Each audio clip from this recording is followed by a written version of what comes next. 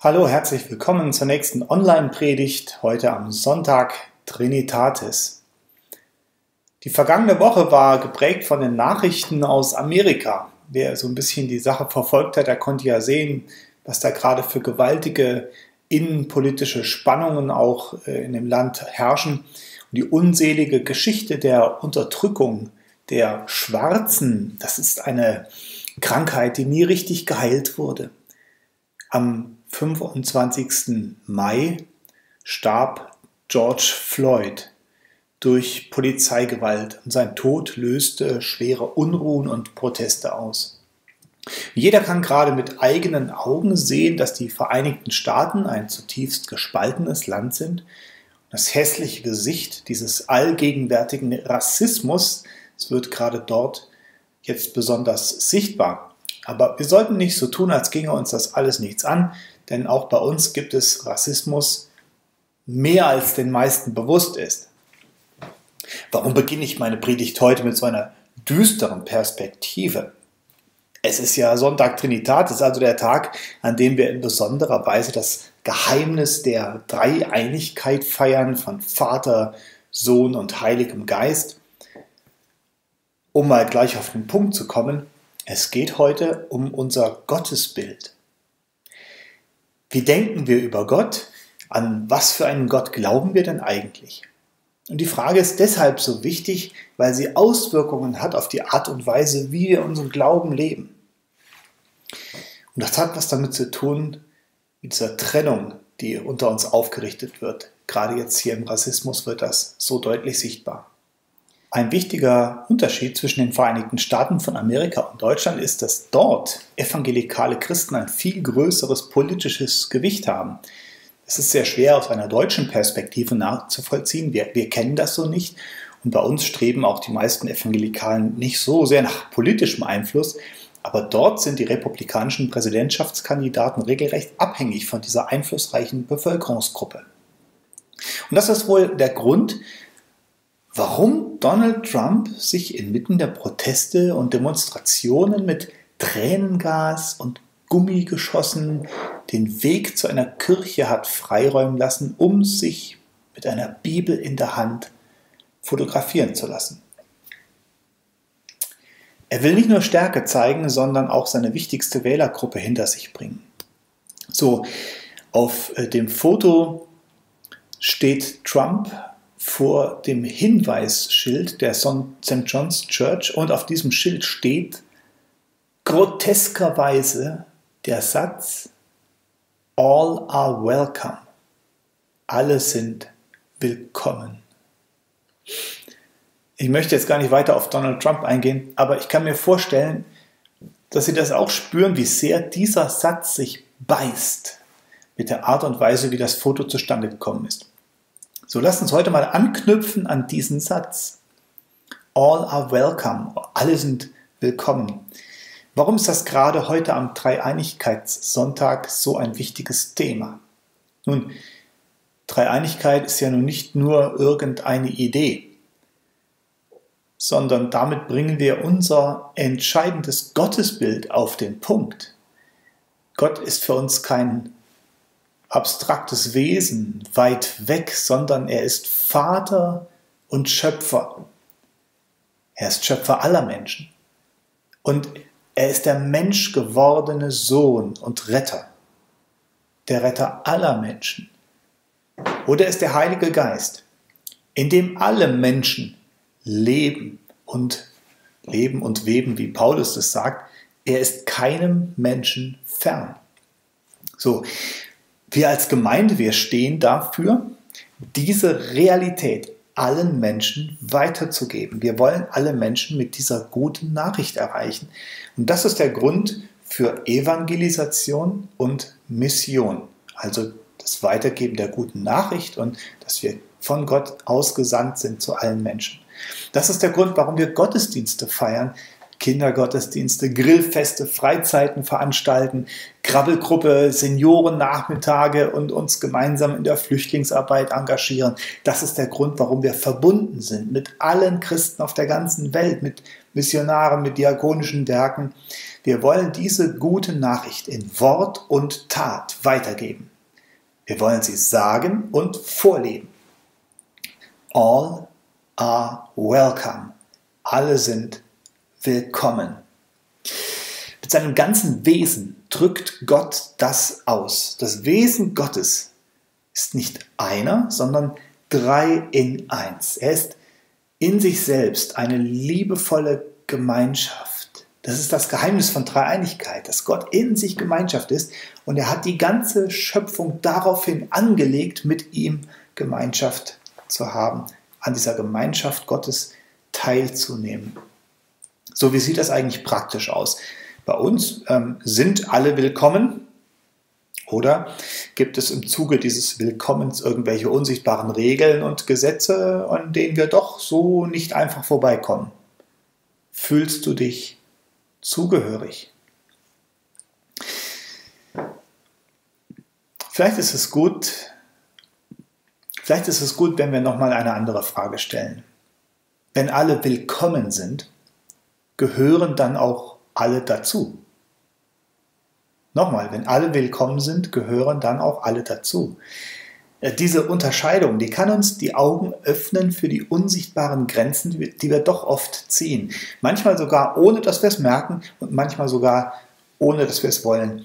Ich erlebe es leider immer wieder mal, dass Christen sogar oh, nach langen Jahren in einer Gemeinde auf einmal so den Satz sagen, naja, irgendwie fühle ich mich nicht so richtig dazugehörig. Also willkommen sein und Zugehörigkeit, die scheinen nicht immer das gleiche zu sein. In der Christenheit gibt es zwei grundlegend unterschiedliche Muster und diese Unterschiede haben zutiefst mit unserem Gottesbild zu tun und sie haben eine krasse Auswirkung darauf, wie unsere Gemeinde funktioniert.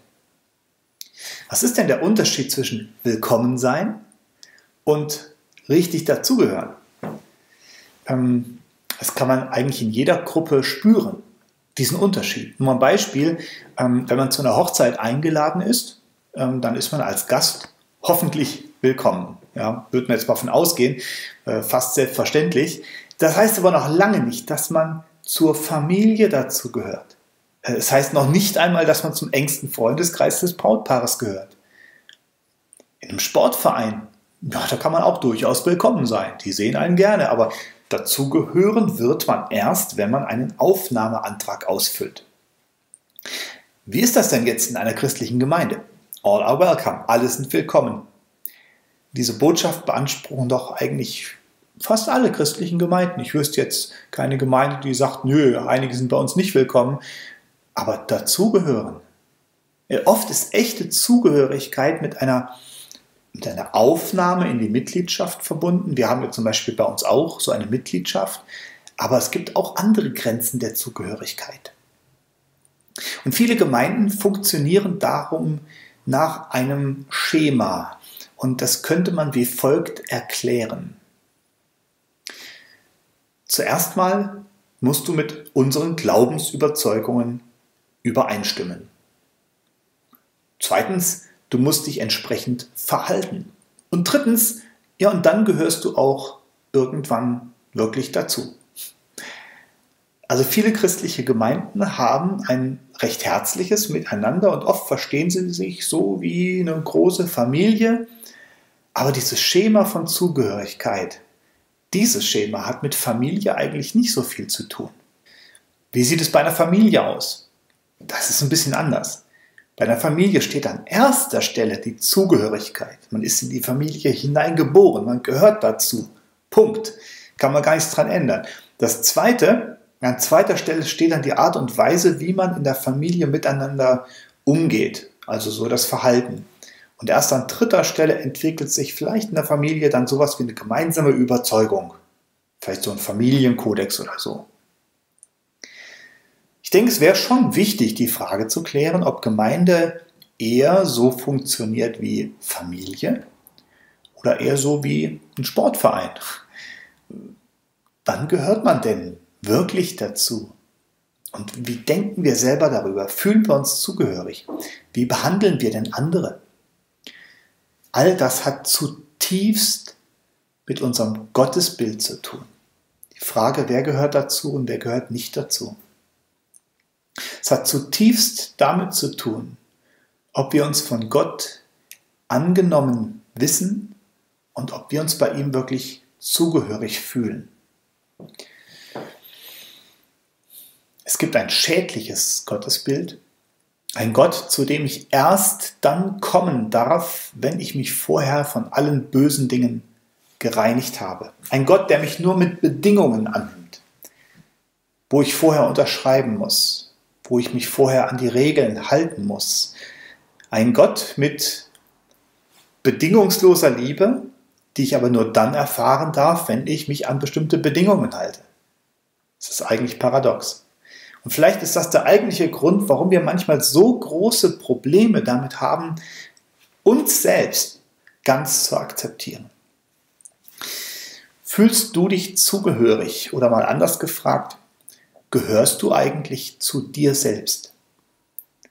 Denn die größten Probleme haben wir oft gar nicht mit anderen Menschen, sondern mit uns selbst. Akzeptierst du dich eigentlich? Auch die Teile von dir, die du als fehlerhaft oder böse oder sündig erkennst. Und hier liegt der Hase im Pfeffer. Und jeder Mensch hat diese Anteile, die uns nicht gefallen. Anteile, die uns Angst machen, für die wir uns schämen oder für die wir uns sogar schuldig fühlen. So wie wir dann denken, wie Gott mit uns umgeht, so gehen wir auch mit uns selber um. Und so wie wir mit uns selber umgehen, so gehen wir dann auch mit anderen um. Und wie wir mit anderen umgehen, das prägt das Klima in unserer Gemeinde. Es kommt etwas sehr Wichtiges. Und wenn diese Predigt heute für Sie und für euch tatsächlich was verändern soll, dann ist das vielleicht jetzt der wichtigste Punkt von allen. Jeder von uns hat Anteile, von denen wir eigentlich wollen, dass sie nicht dazugehören. Nochmal, wir alle haben Bereiche in unserem Leben, mit unserem Charakter, unserem Denken, Fühlen, Handeln, die wir nicht akzeptieren. Wir wollen nicht, dass die zu uns gehören. Ich meine jetzt nicht nur die, die Speckrolle um die Hüften. Nein, es gibt natürlich grundlegende Anteile unserer Persönlichkeit, mit denen wir nicht grün sind. Es sind Bereiche, die wir ablehnen und denen wir die Zugehörigkeit verweigern. Sie sind uns alles andere als willkommen. Die Wahrheit ist aber, sie gehören doch dazu, auch wenn wir es nicht wollen. Also wie gehen wir denn damit um?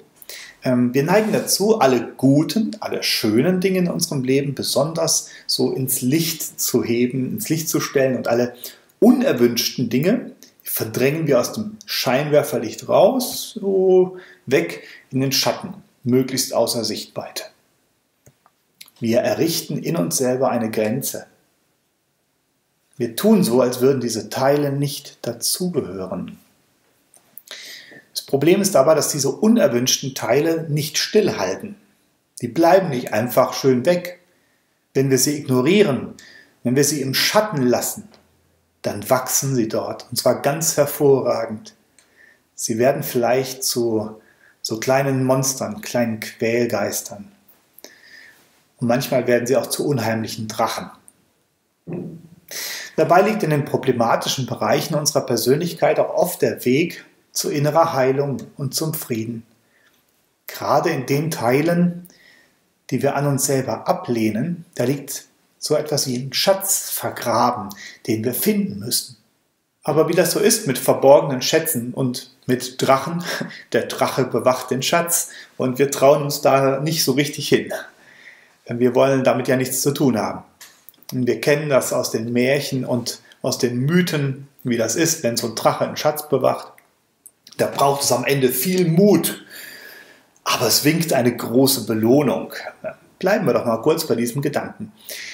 Märchen zeigen den Drachen oft so als das große böse Monster, das muss erschlagen werden und besiegt werden. Naja, äh, kann man machen. Und manche biblischen Aussagen, die scheinen hier natürlich auch wunderbar zu passen. Ähm, in Offenbarung zum Beispiel wird der Teufel als ein großer Drache beschrieben. Ja, ähm, hier geht es aber nicht um die Dinge, die uns von außen bedrohen, sondern es geht ja um unsere eigene Persönlichkeit. Also es gibt da schon Unterschiede und ich glaube, es wäre ein trauriger Fehler, diese Teile von uns selbst quasi abzulehnen und so zu tun, als gehörten sie nicht zu uns. Denn erst dann, wenn wir sie ablehnen, wenn wir sie in den Schatten verbannen, erst dort werden sie zu Monstern. Und erst dort werden sie zu den Drachen, die uns scheinbar von außen bedrohen. Aber sie kommen nicht von außen, die wohnen in uns selber. So, wenn wir das nicht wahrhaben wollen, und viele wollen das nicht wahrhaben, dann suchen wir die Probleme außerhalb von uns selbst. Und wie es dann oft ist, ich projiziere meine Probleme auf andere und meine bösen Erinnerungen und Erlebnisse, meine Ängste, meine Sorgen, was ich bereue, was ich befürchte, meine unbefriedigten Wünsche und Erwartungen, meine Schuld, meine Scham, all das verdränge ich nach außen und suche es außerhalb von mir und dann kann ich es wunderbar kontrollieren, indem ich die Probleme anderen in die Schuhe schiebe. Dann sind es die anderen, die daran schuld sind. Die da draußen, die da oben, die böse Weltverschwörung, Politiker, Ausländer, andere Religionen, andere Völker, die Männer, die Frauen, die Schwarzen, die Gelben, die Grünen. Ich kann mir ganz bequem viele Schubladen anlegen, in die ich meine Probleme einsortiere und dann sind sie scheinbar weg. Nichts anderes meinte Jesus, als er sagte, wir sehen so oft den Splitter im Auge des Bruders und den Balken im eigenen Auge, den können wir gar nicht wahrnehmen.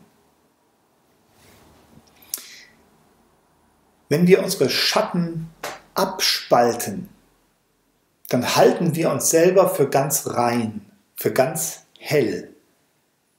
Aber wir brauchen dann auch irgendetwas da draußen, das an unserem Problem schuld sein muss. Dann brauchen wir den Sündenbock. Und auf diesem Boden gedeiht dann auch leider der Rassismus. Es ist ein Denken, das die Welt aufspaltet in die Guten und die Bösen, in die Wertvollen und die Minderwertigen, in die Richtigen und die Falschen, in wir hier und die da. Aber die Wahrheit ist, es gehört alles zusammen. Meine Probleme bleiben meine Probleme und sie gehören zu mir. Und wenn ich den Drachen da draußen erschlagen will, dann kämpfe ich in Wahrheit oft nur gegen mich selbst. Paulus hat diesen geistlichen Mechanismus meisterlich und erschreckend nüchtern im Römerbrief beschrieben, Römer 7. Ähm, ich lese mal einige Verse von Vers 21. Da sagt Paulus folgendes: Ich stoße also auf die Gesetzmäßigkeit, dass in mir das Böse vorhanden ist, obwohl ich das Gute tun will. Kennen wir das? Denn in meinem Inneren freue ich mich doch am Gesetz Gottes. Aber ich sehe ein anderes Gesetz in meinen Gliedern, das mit dem Gesetz meiner Vernunft im Streit liegt und mich gefangen hält im Gesetz der Sünde, von dem meine Glieder beherrscht werden. Also es ist interessant, wie oft Paulus hier das Wort Gesetz verwendet. Man könnte an dieser Stelle auch vielleicht den Begriff Prinzip verwenden, also das Prinzip Gottes, das Prinzip in meinen Gliedern, das Prinzip der Vernunft, das Prinzip der Sünde. Ähm, auch das Wort Sünde wirkt auf viele heute ein bisschen unscharf. Dabei zeigt uns die Bibel sehr deutlich, Sünde ist ja nichts anderes als Trennung. Ähm, Trennung ist das Gegenteil von Zugehörigkeit. Also wie zerstörerisch das ist, wenn Menschen solche Trennungen aufrichten. Das kann man jeden Tag sehen. Wir wollen unseren Schatten von uns selbst trennen und wir merken gar nicht, dass wir damit nur unsere Trennung von Gott verschlimmern und dass wir uns auch von anderen Menschen distanzieren und trennen, weil wir unsere eigenen Probleme auf andere projizieren. So, und diese Trennung, dieses Nicht-Dazugehören, das sorgt für unsägliches Leid. Persönliches Leid und gesellschaftliches Leid. Wir sehen das überall dort, wo Menschen Opfer von Ausgrenzung sind. Ähm, zum Beispiel, die sich in eine Gemeinde nicht zugehörig fühlen, weil sie von anderen ausgegrenzt wurden. Die Schwarzen, die von den Weißen immer noch nicht als gleichwertiger Teil der Gesellschaft betrachtet werden. Aber auch so viele andere Gruppen von Menschen, die nicht ganz ins Schema passen. Menschen, denen bewusst oder auch unbewusst das Gefühl vermittelt wurde, wir nehmen dich eben nicht so an, wie du bist. Jedenfalls nicht so alles von dir. Wir nehmen dich nur mit einer Bedingung an, mit Kleingedrucktem. Wenn wir eine Gemeinde Jesu Christi sein wollen, eine Gemeinde des dreieinigen Gottes, dann müssen wir eine Gemeinde der Annahme sein. Aber wir Christen, wir haben es geschafft, immer wieder eine Religion der Unterscheidung und Ausgrenzung zu konstruieren. Wir haben die Bibel als Waffe benutzt und unsere Kirchen als Kasernen. Mit dem Namen Gottes auf unseren Lippen wurden ganze Völker ausradiert. Kriege geführt, Menschen verbrannt. Wenn wir mal ganz vorsichtig in unser eigenes Leben reinschauen, was wir selbst mit dem Namen Gottes auf unseren Lippen gesagt und getan haben, dann wird mir Angst und Bange. Woran liegt das? Die Antwort könnte uns schockieren. Brian McLaren schreibt in seinem Buch The Great Spiritual Migration, ähm, dass besonders das Christentum, das in Europa und in den USA gewachsen ist, dieses, diese Sorte Christentum, hat die Probleme der Vergangenheit massiv unterschätzt. Der Grund dafür ist ein Gottesbild, das uns Gott als einen gewaltbereiten und gewalttätigen Gott vor Augen malte. Der Grund dafür ist ein Umgang mit der Heiligen Schrift, der sich immer der gleichen einzelnen Bibelstellen bedient, um die eigene Position zu verfestigen und eine Trennung aufzurichten zwischen denen und uns. Es wäre zu billig, jetzt auf die Probleme in der großen, weiten Welt zu schauen und zu ignorieren, wo unsere eigenen Drachen lauern, in den Schattenseiten unserer eigenen Seele von denen wir dachten, dass sie gar nicht zu uns gehören, aber sie gehören dazu. Ziehen wir mal ein paar Schlussfolgerungen. Bevor du alle Menschen annehmen und lieben kannst, musst du erstmal lernen, die Menschen um dich herum anzunehmen und zu lieben. Bevor du die Menschen um dich herum annehmen und lieben kannst, musst du auch lernen, dich selbst anzunehmen und zu lieben. Und bevor du dich selbst annehmen und lieben kannst,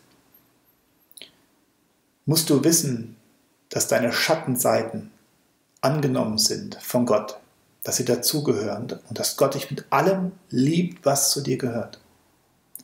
Gott tut das. Gott schaut dich an, wie du bist.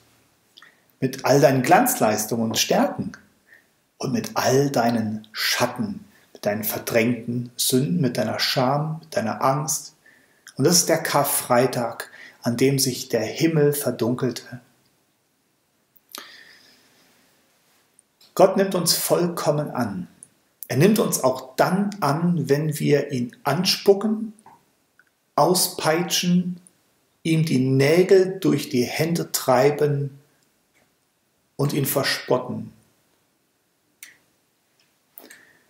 Als Gott in Jesus Mensch wurde, hat er nicht die Sonnenseite des Lebens gewählt, sondern ist mitten hineingekommen in die Schattenseiten.